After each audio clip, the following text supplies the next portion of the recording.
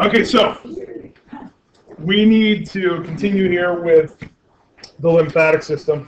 And uh, we've gone through some of the basic anatomy of the lymphatic ductwork, uh, but there are also some additional uh, lymphatic tissues and lymphatic cells uh, and organs that make up or uh, combine to make up the lymphatic system. We're going to start with, excuse me, lymphatic cells.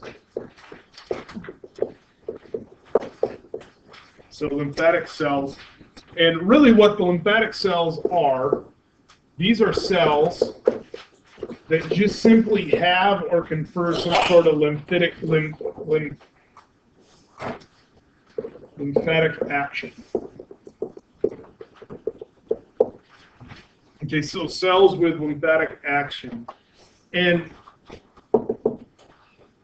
they're considered to be a loose aggregate, and that just simply means that these cells are loosely scattered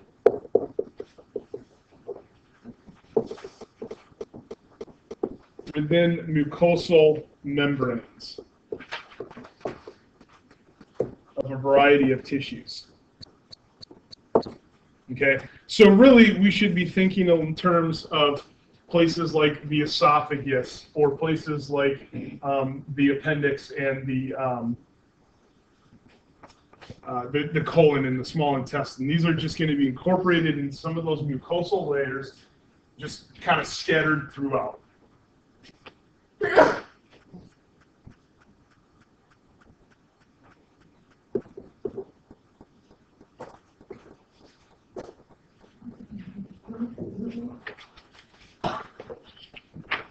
All of it's just going to be like the whole screen's going to just be yellow.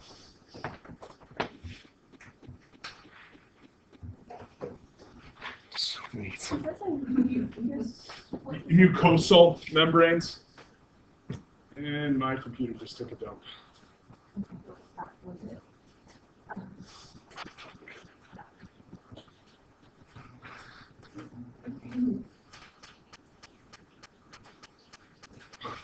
Okay.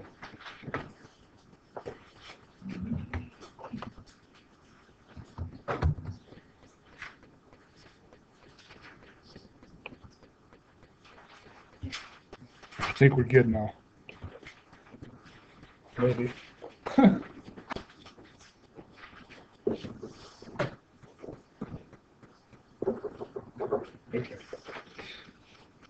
Off to a great start today.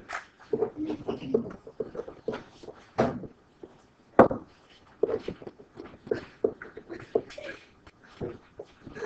that a big four? Yeah, sure. It's called a big four. The the other three was a big three. Did you get that?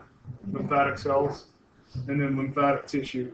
All right. So lymphatic cells basically just distributed kind of loosely within um, a, very loose scattering or loose aggregate of um, of cells throughout the mucosal tissue layer of a variety of different organs. And then we have lymphatic tissues, and these are cells that the aggregate is is tighter.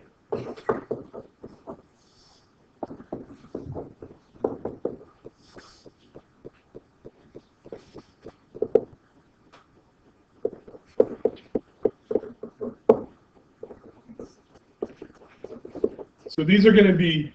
Are we? Are what's going on? Ignore this. No, no, no, no, no. A, B, B, R, E, Aggregate. aggregate. Okay, an aggregate I'm is. really tired. Just for the day of the It's actually sort of a geology term, but it's a collection of different types of, in this case, cells, just kind of clumped together. It's not really a full tissue because it's incorporated in the tissue, but it's a distinct part of that tissue that is sort of separate. So this first one here is the colon, which is obviously part of the digestive system, but we have this aggregate called malt, which is a lymphatic patch of cells. just like randomly in there. Yep. So we have this aggregate of lymphocytes, and I mean, I was gonna get there. This aggregate resides in the mucosal membranes as well.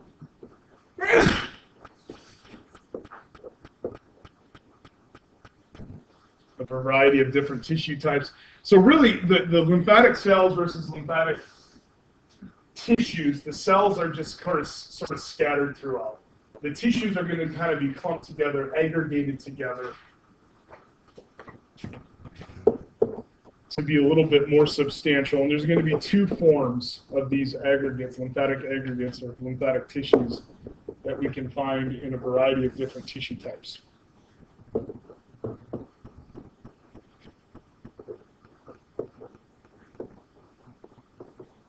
Okay, loose aggregates, and this is, it's kind of like cells, which are really loose aggregates, and then these loose aggregates, which are kind of an intermediate, and then we're going to find that we also have compact, compact aggregates as well. The loose aggregates, oops, um, this should be, start over here. The loose aggregates, um,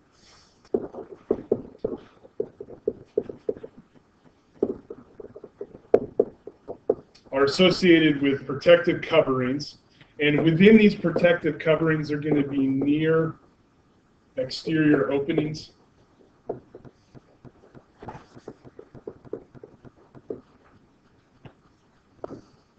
And these are typically referred to by the acronym MALT. Okay, so you can see examples, some MALTs here, colon and uh, the esophagus near the opening, near the protective layer of these tissues, so towards the lumen, near the opening out to the exterior of the body. MALT stands for mucosa associated lymphatic tissue. So mucosa associated lymphatic tissue.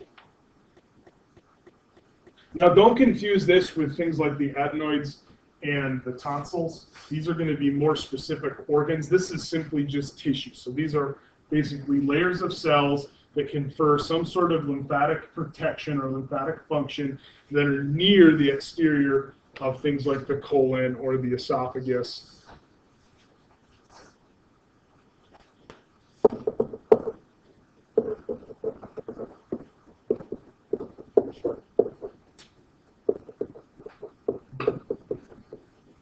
Compact aggregates.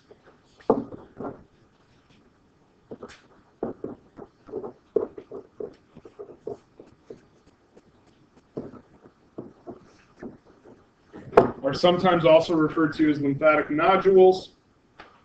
And they actually are a little bit more dynamic. And when I say dynamic, I mean that they actually will change in their appearance or in their structure and composition depending on status of the organism.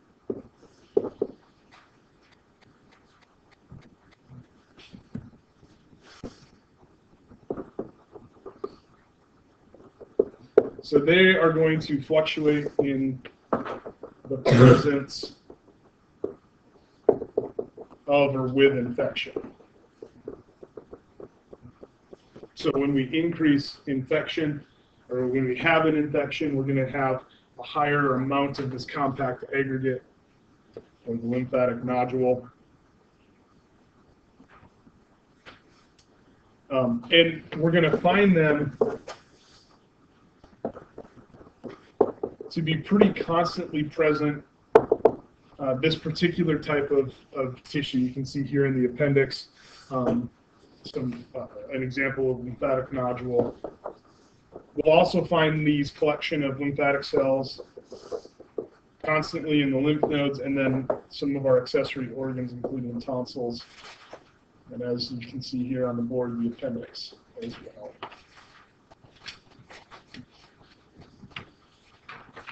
Now, there's one specialized group of lymphatic nodules. Uh, they're known as Peyer's patch.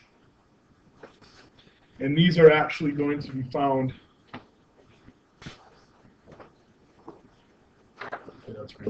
These are going to be found in the ileum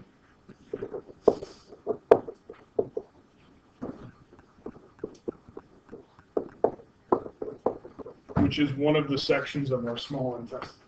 Okay, so a little bit more well defined in the Peyer's patch. You can see them stained here in this figure to provide lymphatic protection for food that's making its way through the digestive system. Okay, so these are just simply put aggregates or collections of cells compacted or loosely structured inside of tissues that provide additional lymphatic protection to those to those tissues in those areas. So the lymphatic system, you have the network of, of tubes and vessels. Then you also have these additional cells, but we also have accessory organs.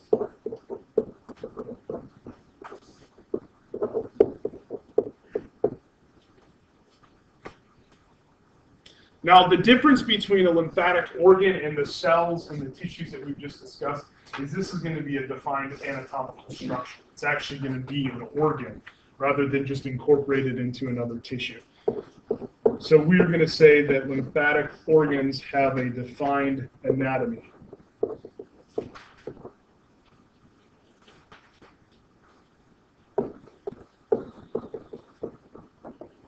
Because they are structured into persistent organs.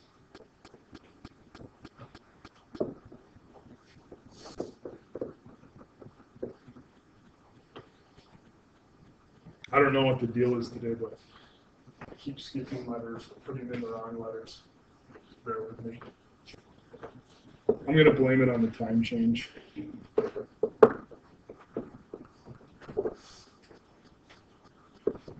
All right, so if it's a persistent organ, it's going to have characteristics of an organ, things like connective tissue.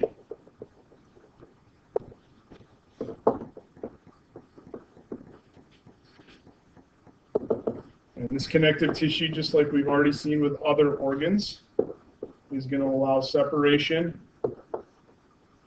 from other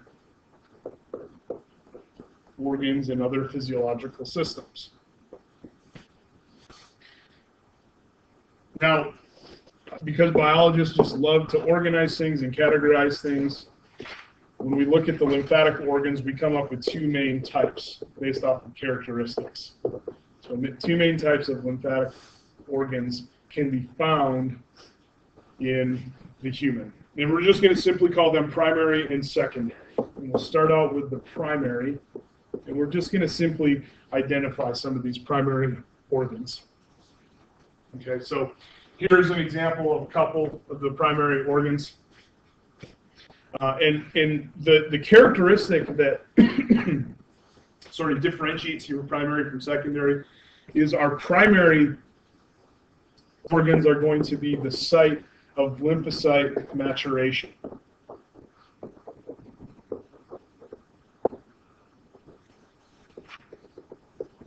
Okay, so our site of lymphocyte maturation. And as such, the lymphocytes exposed in these organs, they're going to differentiate to have a characteristic that's known as immunocompetency.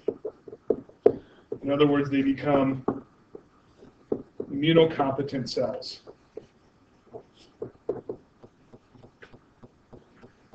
See, I'm missing an M.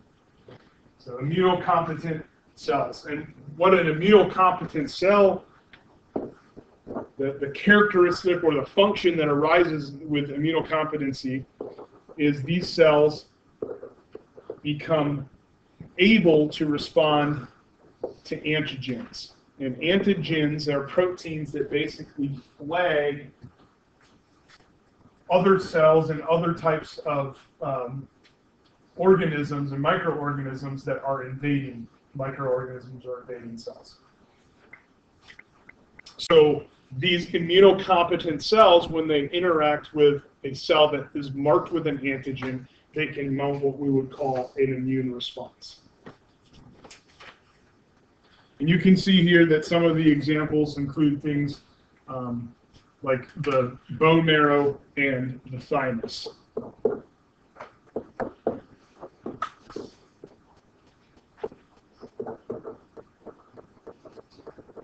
And in fact, when you think back on some of the cells that we've already talked about, both in the circulatory system and with the lymph, uh, lymphatic system. You probably recognize T lymphocytes and B lymphocytes. These are immunocompetent cells. T lymphocytes come from the thymus, B lymphocytes come from the bone marrow. And They will enter circulation, and once in circulation, the T lymphocytes and B lymphocytes are mature lymphatic cells,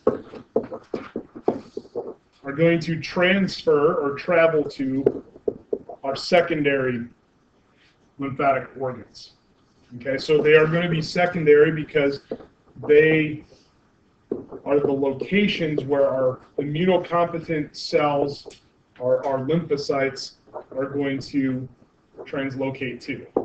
So once they are mature, they enter into circulation. That's why we can pick them up in the red blood or in the, in the blood, and then they end up or wind up at secondary organs where they are actually going to have some sort of immune effect. And so places like the lymph node,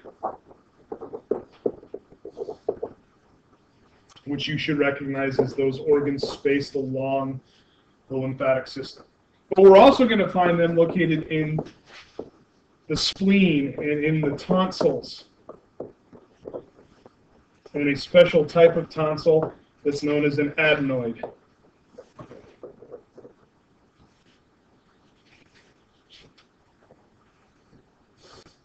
Okay, so primary, this is site of maturation. Secondary, this is where the cell translocates to really have its effect. Uh, the lymph nodes, we've already talked a little bit about lymph nodes located along the lymphatic system. Haven't talked uh, in context of lymphatic system, bone marrow, or the thymus. We're going to get to that, and we'll get to the spleen, tonsils, and adenoids is, as well.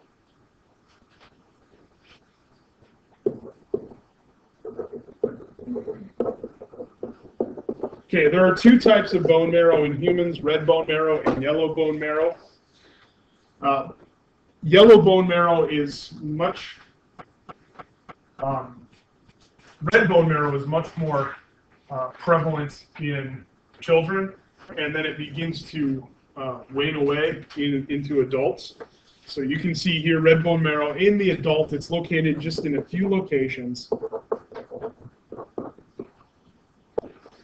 Uh, in particular, it will be present in flat bones and will be present in the head of both the femur and the humerus. So I'm just going to simply refer to those as limb bones, just for sake of simplicity. Now there's this other type of bone marrow called yellow bone marrow, which is actually really no lymphatic function at all. Uh, in children, there's a lot of red bone marrow um, throughout all of the bones, and then as we age, some of that red marrow that's located in places like the shaft of the femur or the shaft of the humerus begins to dissipate, and it becomes less and less uh, vascular, um, and it changes over to yellow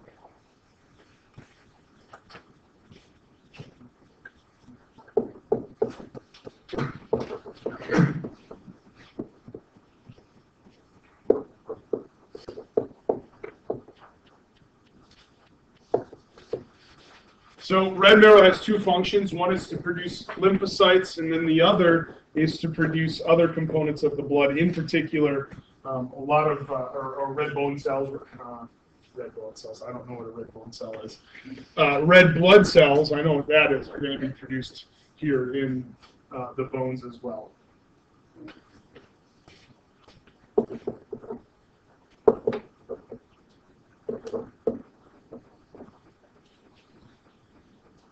All right, the second tissue that we uh, had was the thymus. The thymus is a pretty, uh, pretty weird organ. It is actually going to be uh, a multi-system functioning organ.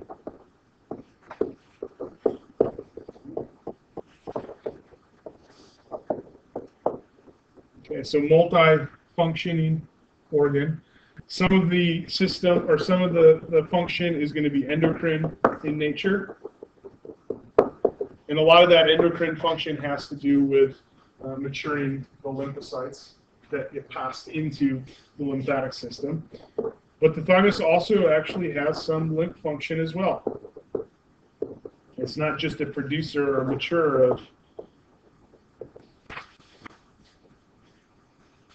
lymphocytes, but it's also going to have some lymphatic and immune function.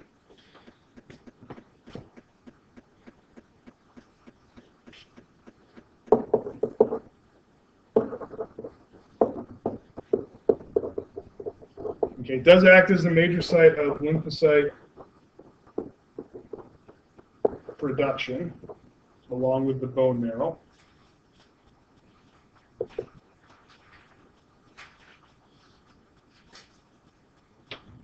But also generates hormones. That's the endocrine function. And these hormones release to influence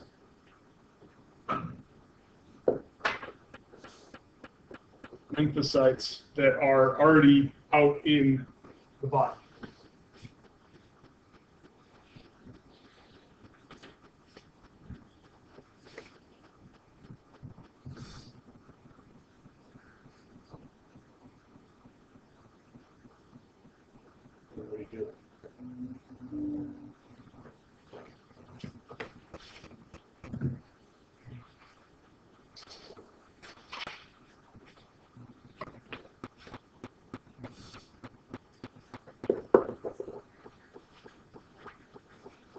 All right, so um, in order to accomplish these tasks, histologically we would find two layers, and these two layers combine, two layers of tissue combine to produce and to process the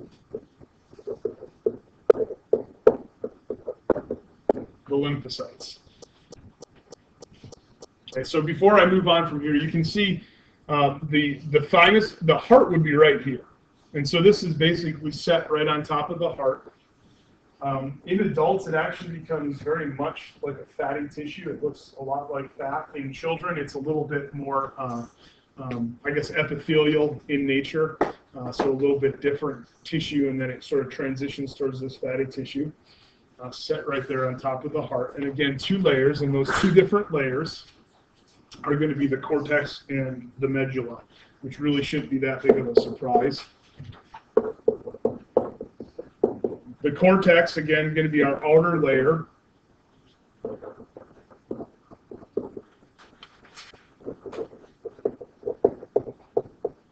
And the cortex is going to protect developing cells from blood pathogens. Which is a good thing, right? We want to keep, if we're generating these cells to wipe out pathogens or pathogenic cells, we want to keep these cells protected from those pathogenic cells. The component of the tissue, of the thymus tissue that confers this protection function is known as the blood thymus barrier.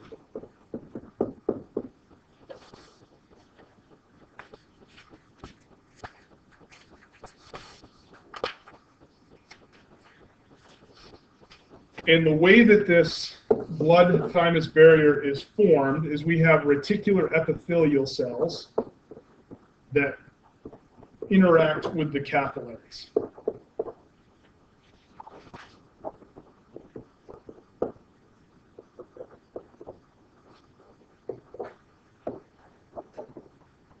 And in effect, wrap themselves around the capillaries to help regulate any sort of exchange that's occurring really just re uh, reducing the overall um, diffusiveness uh, of the, the capillaries. The capillaries are not as open, so to speak, as we find, say, in the kidneys or other locations where we have a large amount of capillary exchange.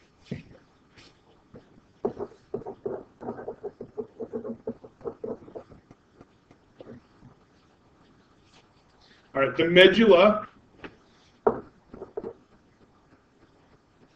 which you can see here, we have cortex on the outside and then the medullary tissue uh, on the inside. The medulla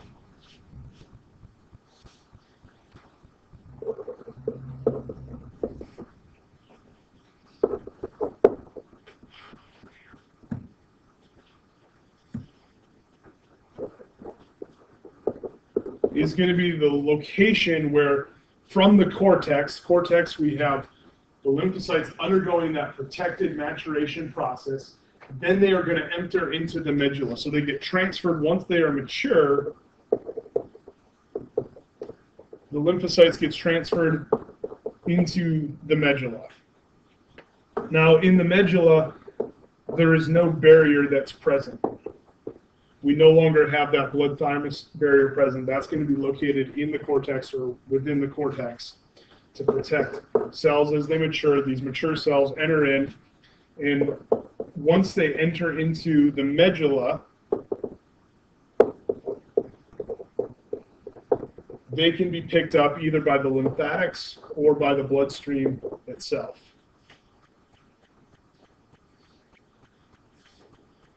Now, what I'm trying to illustrate with this lower uh, example here is there is a transition from the cortex into the medulla.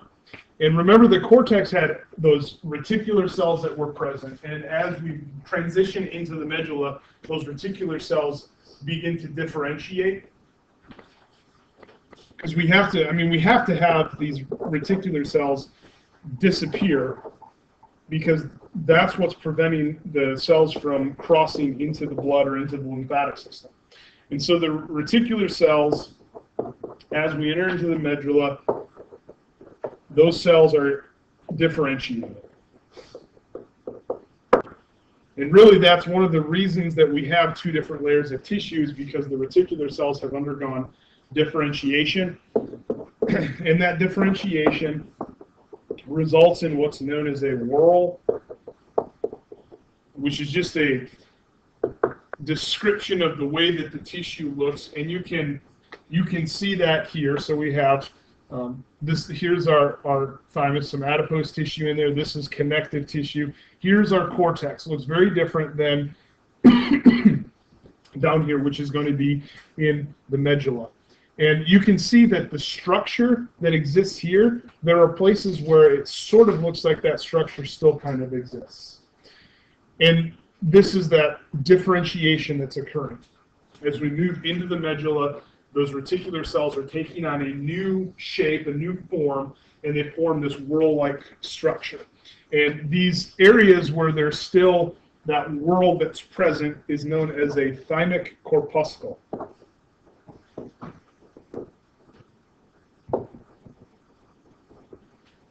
And the thymic corpuscle, corpuscle is just simply the answer to that differentiation process that now allows the mature lymphocytes access into the lymphatic system or into the bloodstream. And then they can circulate absolutely everywhere to have their lymphatic effect on all different types of tissues.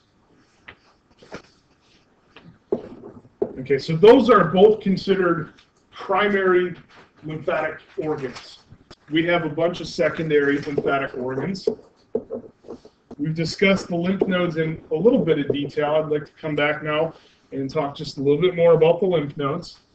So here's an image of a lymph node, cross section of that lymph node, and you can see that there's a ton of stuff going on inside of a lymph node. It is considered to be the most abundant lymphatic organ. And you'll remember that there are some that are collected up in certain locations, and so you have things like inguinal lymph nodes or um, the uh, mesenteric lymph nodes. So um, gathered up in, in, in, groups, and then also some of them just spaced kind of out at random. In the adult, there's about 450 lymph nodes. And these lymph nodes, these 450 or so lymph nodes, are going to provide two main functions.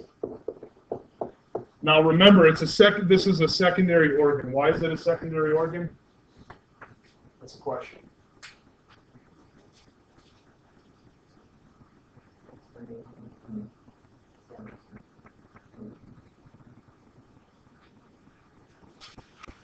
Okay, so our mature lymphocytes are located here. So if our mature lymphocytes are located here in our secondary organ, you better believe that our main functions are probably going to be centered around how those mature lymphocytes are working.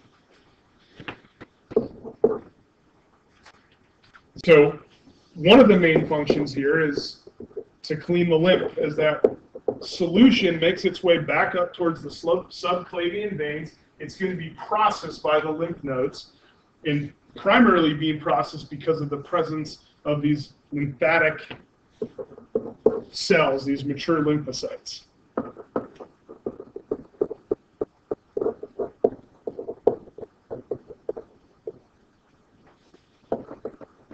Now, this cleaning of the lymph, really, you know, there's going to be particulates, broken down cells, broken down invading cells, and they're just going to get chopped up and recycled and we're going to get rid of the to- uh, get rid of the toxins. We're going to reuse anything that we can reuse, amino acids and things like that. So that's the, the cleaning, and, and it's always happening, regardless of status of the individual, infected or non-infected. You're going to have to continually clean your lymph. The active lymphocytes are also going to be present for what we refer to as immunity. And this is going to be a more specific response to invading organisms. And this is going to be destruction and then cleanup of invading cells.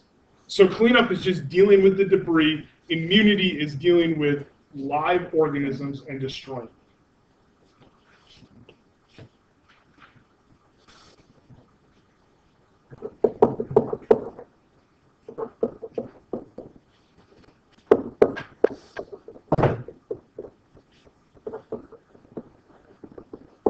Thought I'd already gone over this, but maybe I hadn't. So maybe you weren't aware that they're concentrated in certain locations.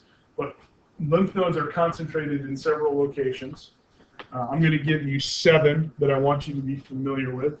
Kind of a tough picture to see, but um, really you're looking for these groups of basically green dots all over this individual. And there are seven major locations that you should be familiar with. And in fact, you're probably somewhat familiar with some of these, uh, especially the first one I'm going to talk about, which is the cervical lymph nodes, which we find these located in the neck. And they are really involved in monitoring the lymph that comes down from the head and the neck. And you've probably gone to the doctor, and the doctor has palpated your neck before and is checking the size of your cervical lymph nodes. And if they're enlarged, then you probably have an active infection, and then he knows that you need to be treated with some sort of antibiotic or palliative care. You may have also received a check of your axillary lymph nodes, and these are going to be within the armpit region of the individual. And these lymph nodes are going to monitor the lymph coming in from the upper limbs and also throughout the chest area. The thoracic lymph nodes are going to be found within the thoracic cavity. they are involved in monitoring the lungs, the airway, and then the mediastinum, which is just sort of a uh, uh, area of tissue that's that surrounds the layered over the heart and, and the lungs, primarily a blood supply.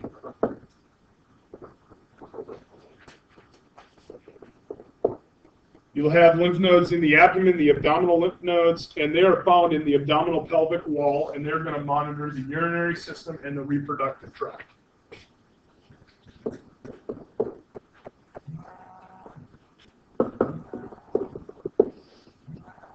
Yes. So if you get your tonsils removed or whatever, are you more susceptible to like infection after that? Since it also uh, connects to the immune system, even though it's different. for the, um, Oh, would you say the tonsils? Yeah, like if you take a, yes, something that has a lot. Let's hold off that. We're going to get to the tonsils here in just a couple of minutes, and we'll address what happens when we remove it.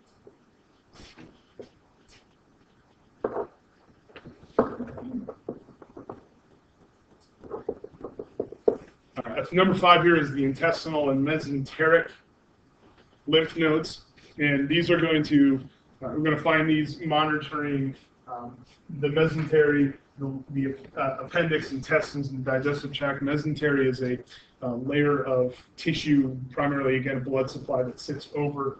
It's kind of like a flap. It sits over the small intestine, just kind of flaps over the small intestine.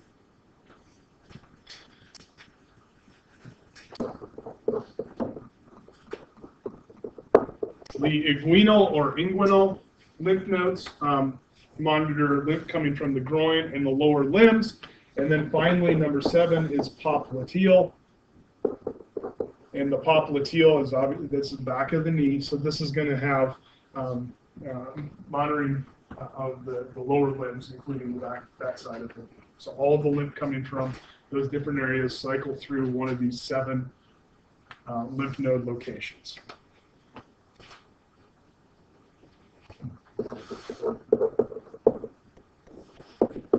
Okay, so tonsils. What exactly are tonsils? Uh, we actually have a variety of different tonsils located in a couple different areas. Most of these are going to be find, found in the nasal and the oral cavities or protecting those openings.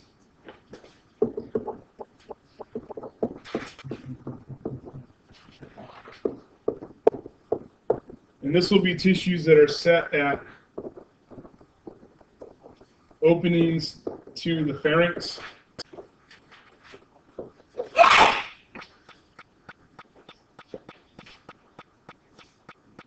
Um, so really, base of the oral cavity, base of the nasal, nasal cavity, in the region of the pharynx.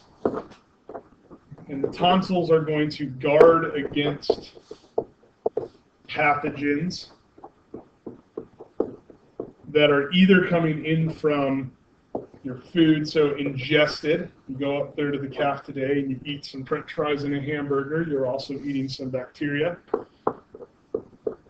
And just sitting in this room right now inhaling the air, you're inhaling viruses and bacteria. And we have tonsils that are going to help to remove or at least neutralize that, that uh, um, pathogenic effect. The way that this occurs, the function is very much guided by the anatomy with the tonsils. So you can see here tonsils at the base of the oral cavity. There's also some tonsils located uh, at a couple different places um, within the, the nasal and basically where the, the pharynx is converging those two cavities. Uh, again, the anatomy very important here. So this is uh, a cross section through a tonsil, and you can see that we have what kind of look like cilia, um, and then there are also uh, over the whole thing you have a layer of cells, and those outer layer it's going to be epithelial cells.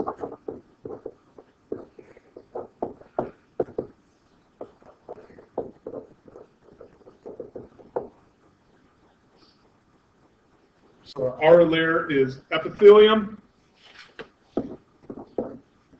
And then the infoldings.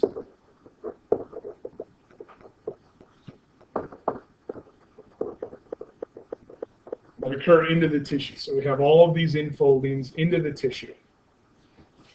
And they form these structures here. The infoldings form those structures there that are known as the crypts, or tonsillar crypts.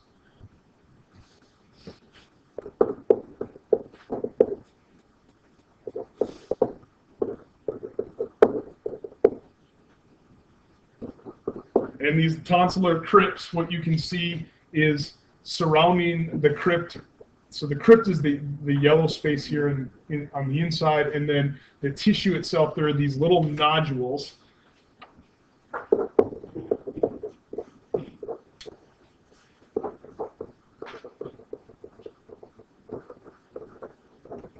so lined with lymphatic nodules. And when anytime you swallow food or breathe in air, particulates are going to get trapped inside of those tonsillar crypts. So those crypts are going to contain debris that's being removed. It could be food particles, or it could be dead leukocytes,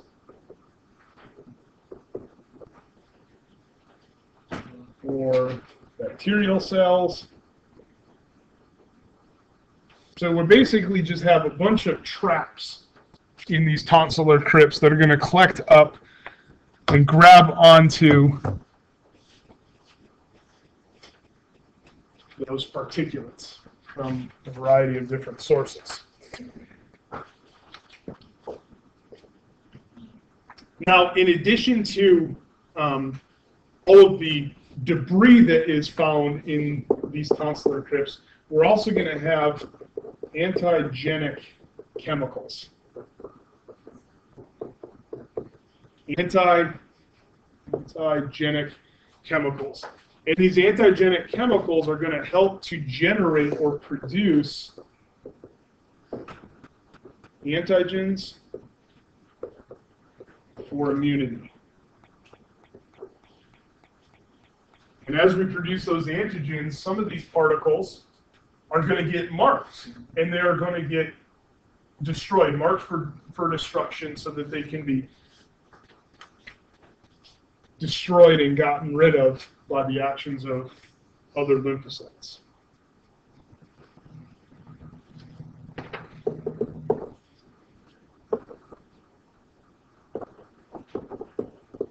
Now, there are three types of tonsils, and basically they're differentiated on their location. They all have a very similar structure with the crypts and the lymphatic nodules, uh, and then just collect up any of that debris or a lot of the debris as we're consuming food and beverage and breathing.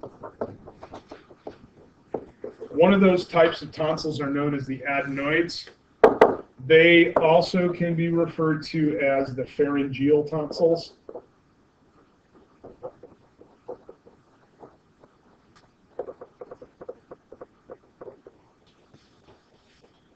And the pharyngeal tonsil, tonsils, or the adenoids, are going to exist as single groups of cells.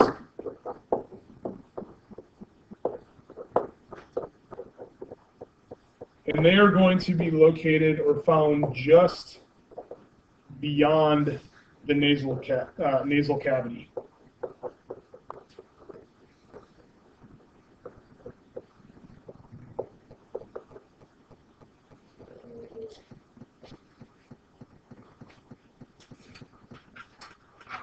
Just let me know when you're.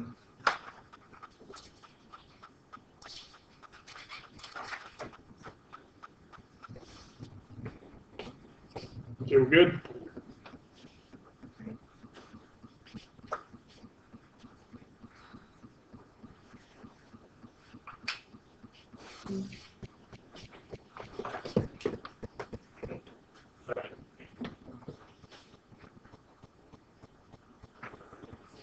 Okay, so adenoids are one type. The uh, second type are the palatine. Palatine uh, tonsils are going to be paired as opposed to a single group. So these are a pair of tonsils, and these are what you're maybe most familiar with. These are located in the oral cavity. If you ever try to look at someone's tonsils, you're probably looking at their palatine tonsils.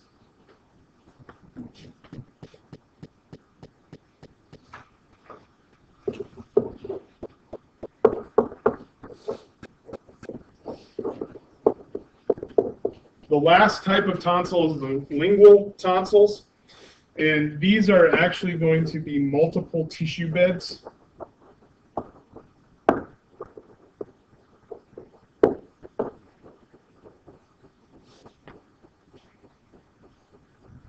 And within these multiple tissue beds,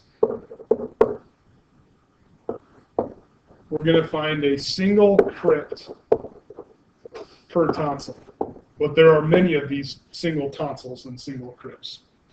Uh, and you're going to find these located on the side of the tongue at its root. So way back the beginning of the pharynx. All right, so you've probably have all heard of people having their tonsils removed, and it used to be the standard uh, standard of practice. And what would happen is they, you know, I mean, these are these tissues are dealing with a lot of bacteria and invading organisms, and so they would get inflamed uh, from time to time. And once they got inflamed, we would say, okay, let's just remove it and get rid of it, and then we get rid of the infection. And it's really effective at removing the infection. However, there's a problem. You've now just lost the tissue that's kind of the first line of defense for food and beverage consumption and air that we're breathing. And once we started uh, to have many, many cases of um, tonsils being removed, we began to see a decrease in immune function for those individuals. Um, in fact, today, really tonsils aren't removed anymore. Um, we try to treat with pretty heavy antibiotics to try to prevent the loss of the tonsils. The only reason tonsils will be removed is if they begin to impede on airflow into the lungs and begin to restrict restrict the airway, and then they'll have to go in for emergency purposes to remove the tonsils. But you know, it's it's that's one part of medicine where the you know the tonsils were considered to kind of be okay. Well, they're not really totally necessary now. Back in our evolutionary past, they were very important, but not so much anymore. Same thing with uh, the appendix. People saying, well, you know, we've evolved because now we have new technologies for sterilizing our food and homogenizing and pasteurizing and things like that. So they're not as important, but really they were still really, really important. So we try to keep them around and just treat with heavy antibiotics. Uh, and so my generation, uh, I've had my adenoids removed. Many of my friends have had their tonsils removed. If we were to survey your class, it'd probably be about a 50% split, maybe even uh, more people who have not had them removed. Little kids today, 20 years from now, they're probably going to be one or two people in a class of 100 that would have had their tonsils removed. Yeah, Lindsay. What cases like make it okay to remove them? Because like one of my friends' little sister just had her had removed like yesterday. Then they probably got really, really inflamed. They couldn't get down with an antibiotic and treat it that way. And it might have started to cause, or was expected to cause some problems with airway function. So basically, the decision probably was made. They're saying it's not getting better. It's only going to get worse. We got to do something else. So like when you have your during do they remove all three types or do they? They just remove what's inflamed. Yeah, so you can just have your adenoids removed, or you can just have your tonsils, pal- pal- uh, palatine tonsils removed, or lingual tonsils removed, whatever's inflamed.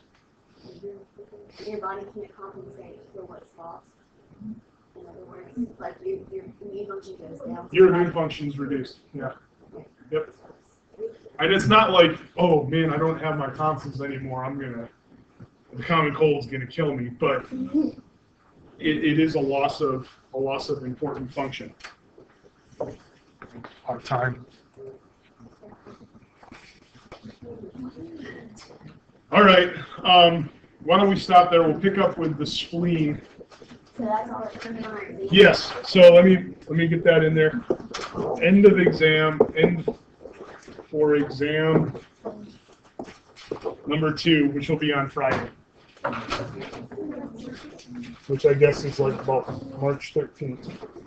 Oh, Friday. Did we have a test on Friday? Yeah.